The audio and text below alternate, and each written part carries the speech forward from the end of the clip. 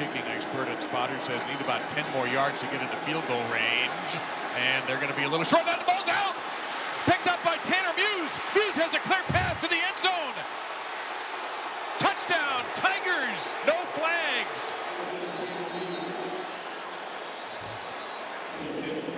The fumble forced by Isaiah Simmons. If you're the big underdog, you cannot turn the ball over.